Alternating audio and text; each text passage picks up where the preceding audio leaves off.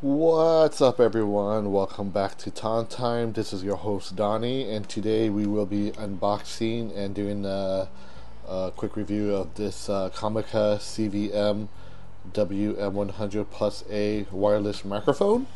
So Comica is a great company. Uh, I've bought a couple of their products. I bought the shotgun mic for my um, camera slash iPhone um, setup when I'm out, and I also have another uh, Comica Boom X-D, which is uh, a receiver and a wireless mic for just the iPhone, and both products is really awesome.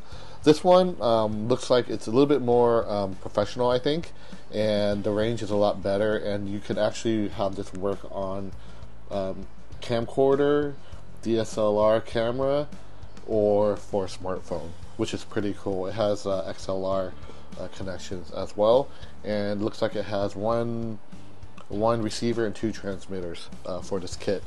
So let's go ahead and open it up, see what's inside the box, and then later in the video I will change over to this mic and let you guys hear. Right now, what you're hearing is not this mic. I'm actually using another Comica product um, uh, for it, so this is I guess you could say this is a preview of what Comica mics sound like. On all my videos, I use mainly Comica mics because I'm shooting on my iPhone. So um, this is a different Comica product you're hearing right now. But when I switch over to this, these guys, I'll put it on the screen and I'll let you guys know. So let's go ahead and open it up. Um, let me show you guys what the retail boxing looks like. So let's see. This is the front showing the product and everything that it works with. So this is a back with some um, uh, some features here.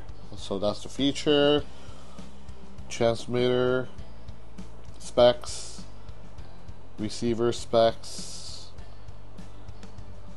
So there's a back in a box. They also have a website which goes into depth. I'll put it in the link below. So that's the box. A little carrying handle when you buy it. So let's go ahead and open it up now. I didn't open it up yet, so I figure, you know what? I like I like to open up the boxes uh, during um, live taping, so you guys know exactly what is in the box and there's no surprises. So let's go ahead and open it up.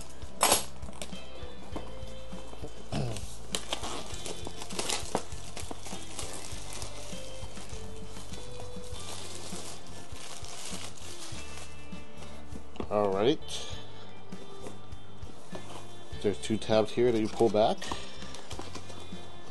Open it up. And it looks like it has a nice little carrying case, which is cool. So this is the case. There's nothing else in the box as you can see. So it comes with a nice uh, durable carrying case. Very light. Looks like it's got a zipper in the front, which looks like it holds all your accessories. So there's three accessories here, and another three in this pocket. So I'm going to take everything out.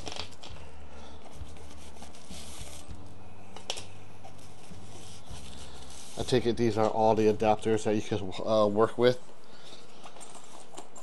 on either your iPhone, your camcorder, or your DSLR. So that was in the small packet.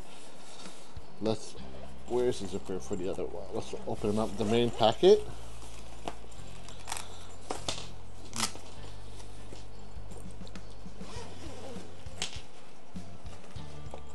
Okay, upon opening, you get the user manual here and here is how the kit is aligned you got the slits for the antenna this is a receiver two two transmitter one receiver. So this guy would sit on your camcorder um, iphone or dslr and it has two antennas as you can see. And the antenna looks flexible as you can see so you get that. That's the receiver. This is a transmitter And you got another transmitter right here. And there's something else here, which I'll unbox later. Uh, so unpack later. So that is everything in this kit here in this carrying case. It's got like a foam foam case, so when you're carrying it around, it's well insulated and won't damage the product. So let's go ahead and let's look at the receiver. so it's plastic, but it looks durable. Antenna is really flexible, as you can see. So you can straighten out. You don't have to worry. Um, I believe there's a clip so you can clip this onto a belt or your camera or a hot shoe or cold shoe. You got your two lights here, AB. You got your output here, and then you got your antenna, um, your headphones here for monitoring. And it looks like you can charge this here with uh, micro USB.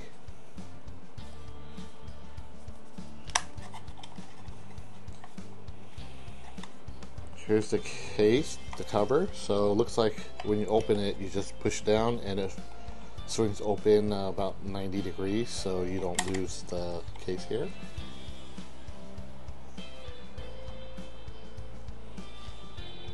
So you need to use two AA batteries with the receiver. So we have the receiver here. Let's look at one of the transmitters. So looks like it's probably going to be the same thing. You open it up, case opens, got your two batteries here. Looks like you can power it up with micro USB here. And I'll see if you could power it up without battery. So I'll try powering this up without batteries first and see. And we'll see if that turns on. So you got your power, got your set left, right, and your power as well. So those two are the transmitter. And this one you have the same controls too, set, left, right, power. So let me go ahead. You know what? Let's go ahead and open these up to see just what's inside before I go find um, batteries for these guys. So this looks like it's the belt clip. So you could actually. Um, I'll probably have to read the instruction, but I believe you could clip these on somehow and have them on your belt clip while you're walking around if you're doing any videotaping and walking at the same time. Let's see what is in here. I bet you this is the mic. Okay, so you got the wind mic here.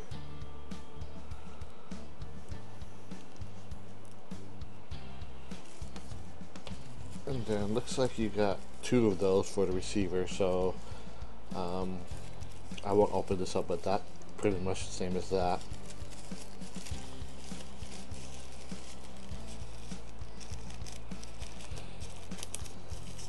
or transmitter I should say. let's see here. So you have this mic here to hook up onto your transmitter. So you got two of those here. So you got that there. This guy's the same thing. And I believe these are just the accessories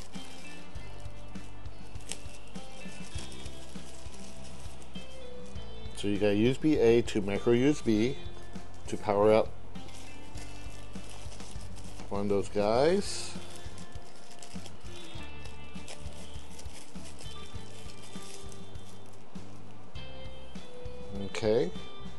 This one you have uh, um, TRS. It looks like it's two two ring here to plug from the transmitter to a source.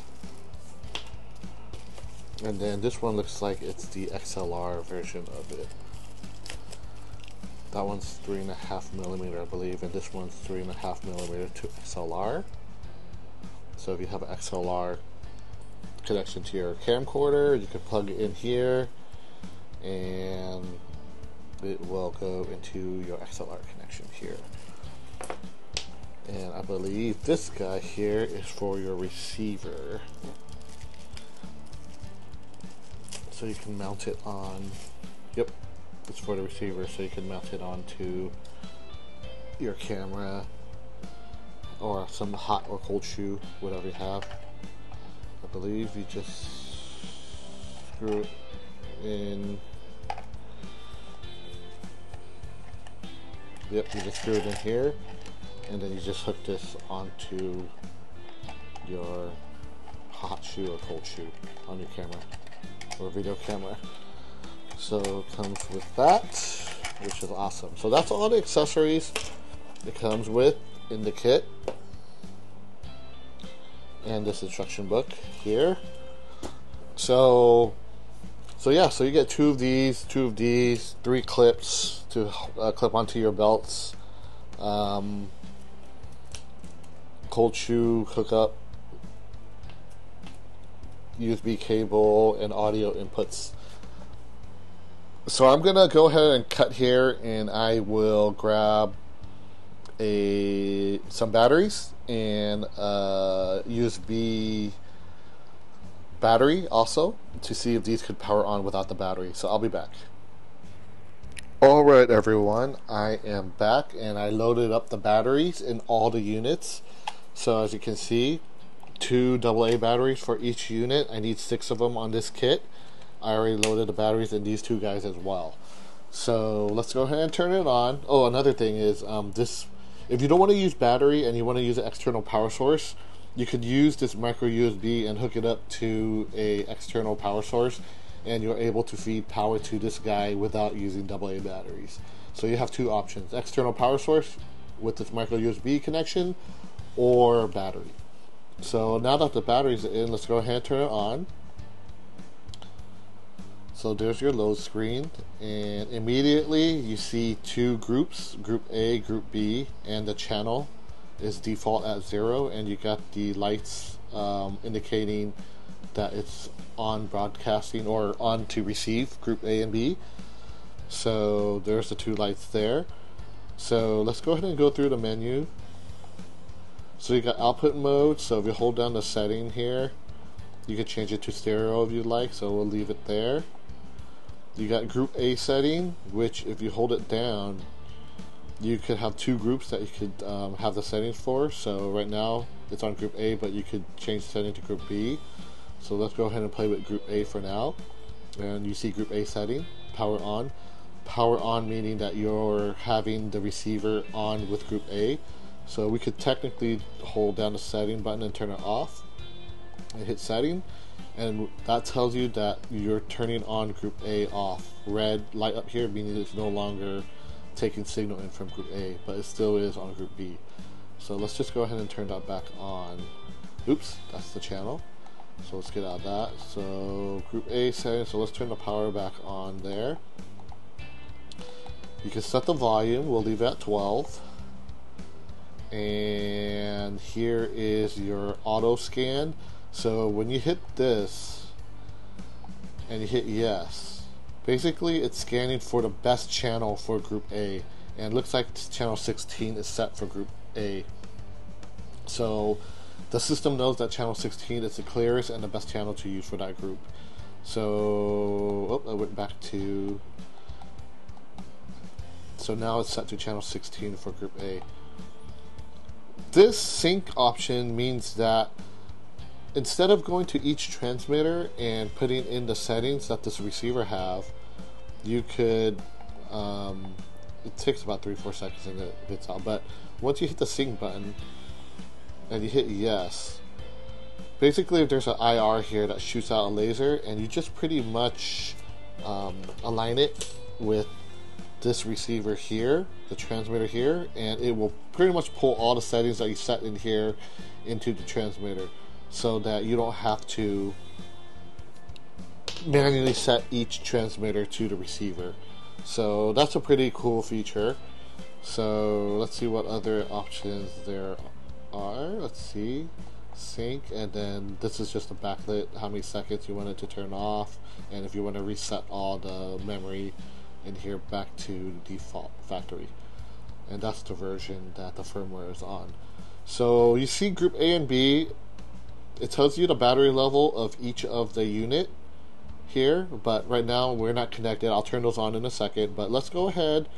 So group A as you can see is on channel 16 so let's go ahead and see if this guy could let's do group B now. So I'm going to hold it down and then do group B.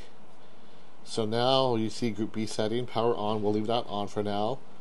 Group uh, volumes 12 and let's have this receiver scan for the best channel for group B which is channel 45 so so here I already set group A and B settings in this receiver so instead of manually setting it, I'm going to turn on both of these right now. So right now, as you can see, channel 16 and channel 45 for group A and B. So let's go ahead and go to, we're already in group B, so I'm going to go to the sync button. I'm going to tell it to sync and then I'm going to hit yes. So now it's searching for the transmitter. So once you line it up, as you can see, it automatically matched right away. And on this transmitter, you see group B, channel 45. Bam, done. So now all the settings that you put in the receiver here is now copied into this transmitter and now is on um, group B. So here this is a clean slate one too. As you can see, it says Group A, Channel 0. We want to match it to Channel 16, so I'm going to go to Group, change this to Group A setting, and now it's on Group A. I'm to go to Sync, hold it down, hold the setting set button, and then now I want to sync this to this guy, and it says matched, and as you can see now this transmitter is on channel 16. So it's pretty cool. So right now I have group A and B on and it's actually picking up as you can see from the uh, levels here. You see? So there's so it reads the battery off of A and B, the battery um, of the unit, those two transmitter. The first box that you see is the transmission level. So 3 means highest, which is good and then you see the gain here. So this is A, right? So right now it's it's hearing my voice because the mic right now, but if I blow into it, you see. Oops, let's see. So as you can see, it looks like it's trying to search for A. Give it a second. But anyways, while I was doing that, oh, I found it. So B here B here, it's picking up, it's locked. So you hear the gain on A here, as you can see, hello, hello, hello, and you see the gain there. So it's reading the gain off of the two uh, systems now. So, so that's pretty much, uh, looks like it lost connection here. Oh, maybe because I have the antennas too close. But yeah, as you can see, it's picking up the gains on both of them. So now it's reading off of A and B on there. So if, if you want to turn each one off, you could go to the group setting and you see where say group A setting power on. If you want to turn A off, hold down the set button and you could hit off and now it's only picking up B, which is that guy. B, which is this unit here.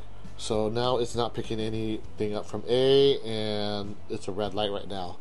So yeah, so it's only reading off of B, as you can see. This is on B right now. B B B. So so that's how you do it. So I'll go ahead and turn on A. And as you can see, when A is off, it's the background is not even on. It's uh you can see it's not on the background is not black like on B. So I am going to turn group A back on. See it says off. Now I'm going to turn it back on. So now it's picking up both. So it reads off of both A. So I'll put that one on group A and that one on group B. So now you see the gain and the transmission is pretty good. So that's the menu on the receiving end of it.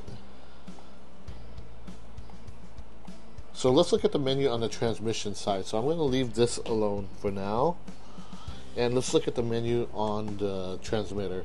So this is the one that's on group B right now. So let's look at the menu. So got the group B settings. So low cut filter, that means if you're in a crowded area, it will try to cut out all the noise and only pick up what's closest to your mic. Uh, you might want to use that if you're in loud areas.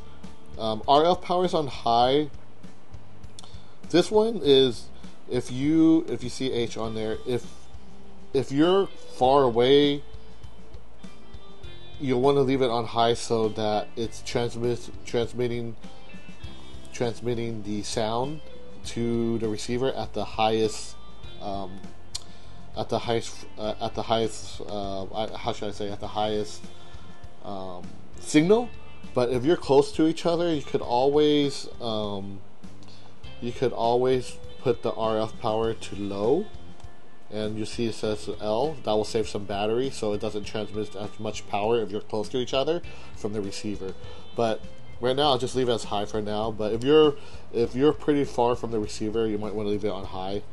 Um, that's how it is. Muting if you want to mute your unit you could disable and you see nothing. There's a button that you could um, hot mute, enable, disable it, backlit 15 seconds, reset, and firmware. So same thing, you reset it back to factory settings, and that's the firmware number. So that's pretty much everything on the transmitter side. Um, it's pretty easy. You could set you could set this one to A too if you want. Right now this is B, and like I said, I set this one to A just for showing you guys. So as you can see, this is on Group A right now and the receiver is now taking both of these in and right here uh, with the muting it's enabled because if you hold down the power button I'm sorry. Let me turn that back on. If you hold down that one it mutes it. And if you if you uh, press it again it's unmute. So right now hit the power button, it mutes. Unhit it again if it's green, it's not muted, but you can turn that off in the menu as I showed earlier. So yeah, uh, that's pretty much the setting. Pretty, really, really easy to use. And this belt clip, um, it actually clips onto a little hole here. So you could, let me put it on for reference. It might be a little bit tough, but you put that in that hole, and then you put it in this hole here, and then bam, belt clip. You clip on your belt, walk around with it, you're good. So yeah, this is a pretty nice unit. Um, it's not too heavy, made of durable plastic. Um, so now what I'm going to do is I am going to um, I'll hook this onto my iPhone because I'm using another uh, Comica um, um, system to record the sound now. So what I'll do is I will hook up one of these guys here to my iPhone so you can see what it sounds like. So I'll be back in another second, guys. So I just want to show you the cable that I have. It's actually two cables to work on the iPhone. You'll need the lightning cable to 3.5 millimeter. And you'll need to get this cable too because the iPhone has uh, triple rings for uh, audio, stereo audio, and mic. So you'll need an adapter from 3 ring to 2 ring here to make it work. So as you can see, 3 ring here plugs into this guy here. And then the 2 ring here is for the Comica unit. You would plug this in here like that, and then this will pretty much screw into the receiver here on the output, and it's pretty cool because it's uh, Uh, it's a screw type, so once you plug it in here, you'll screw it down.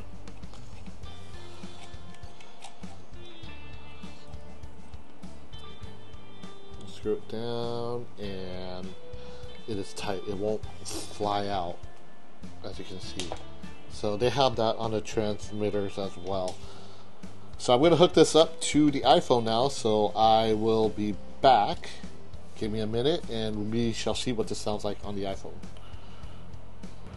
Okay, everyone, so I'm back now, and the receiver is now hooked up to the iPhone right now. So the recording that you're seeing and the sound that you're seeing now is coming from this unit and that transmitter, actually, this transmitter here. So it's hooked up to my lapel. So yeah, so I am using this right now, and it sounds pretty good, right, guys?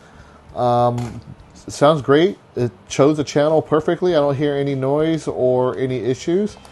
So I I turned off that group there, so it's only um, getting sound from group A. But as you can see, it's got three full bars of receiving the signal, and the gain looks pretty good on the receiver, and it's got full battery life. So yeah, guys, and this is the transmitter I'm using as well. So um, I think this is pretty much a home run. I really like this kit. Um, I think it's a little bit more professional um, use than the other kit that I have. I've been using um, this kit here, um, just specifically for the iPhone. Um, love this kit because it's just compact, but I think this one sounds a little bit better. Um, as you can see, I'm a Comica fan. I also have a shotgun mic too. So this one sounds really good, and I like how um, you can you can set groups and um, different. Um, you can set different groups and the gains and have different settings for each individual. So yeah, really awesome. I really like this. Um, sounds really good. The the thing is a little bulky, but if you're putting this on your belt, it should be fine. And it, as you can hear, it sounds great, and I love it. So this has been my review of this kit, guys. This is the Comica CVM-WM100 Plus.